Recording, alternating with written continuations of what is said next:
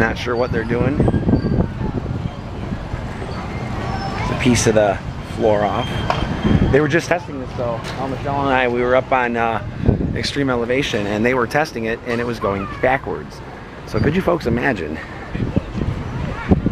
Oh, he's talking to somebody. There's someone in the hole.